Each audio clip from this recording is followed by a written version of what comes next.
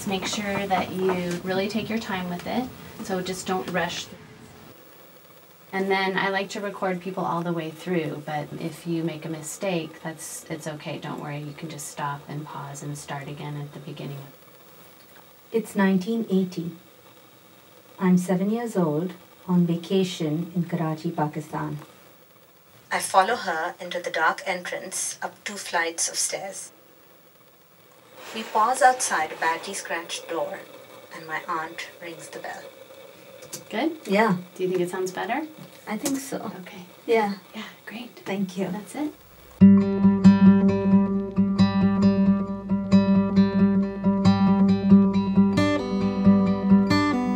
Two years ago, I took part in a workshop with StoryCenter.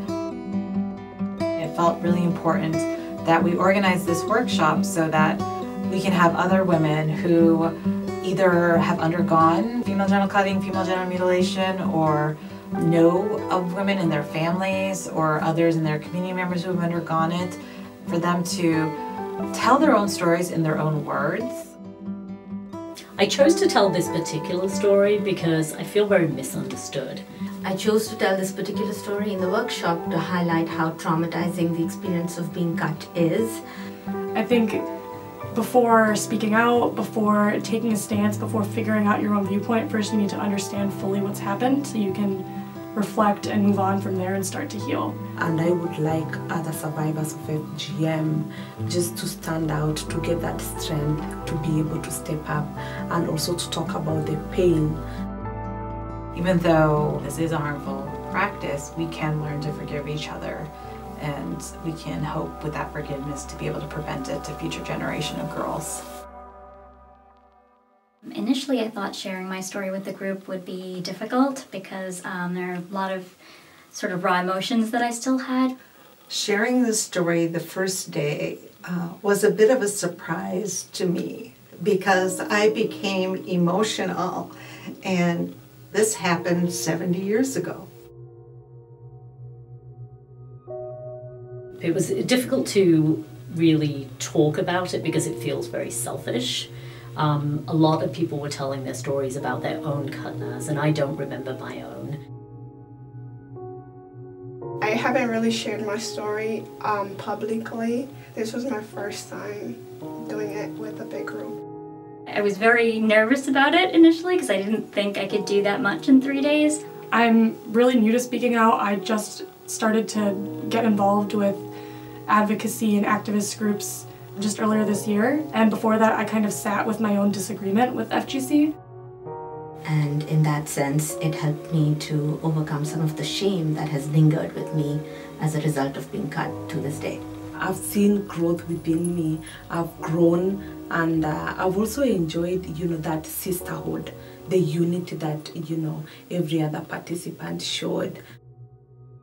And it's actually strengthened my my love for my community. And, you know, even though I disagree with this one practice, that love is still very strong and it's, it's a part of who I am. I'm hoping that viewers will realize that female genital mutilation is not just something that happens to people of a different color in a faraway land. Supporters of genital cutting claim that the cutting in the Bohra community is just like a nick or a scrape that causes no harm and in fact may enhance sexual pleasure. Through my story, I want to explain how in fact it is a form of violence that has remained and foreshadowed my life.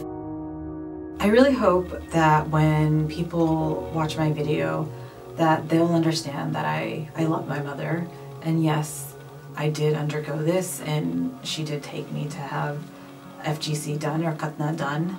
But she was a great mother, and she did what she thought was right at the time. I hope people will realize that FGC is complicated. It's not just a, a one-sided, one-dimensional kind of issue, and also that you know. Um, mother daughter, mother child relationships can be very complicated. You can still love your mother very much and still maybe question some of the decisions that she made. One of my more immediate goals is to take all the really important messages that I heard and take them home and talk with the people around me first. Because I think if everybody starts those conversations, then little things add up to big things. In the future, I hope to reach out to um, individuals who might be against the practice of FGC in the community, but they're just afraid to speak out for whatever reasons. There is a hope for young girls out there if we can only unite together uh, all over the world and say no to FGM. And I want people to know that it's okay. You know, it it doesn't change your identity, it doesn't change who you are.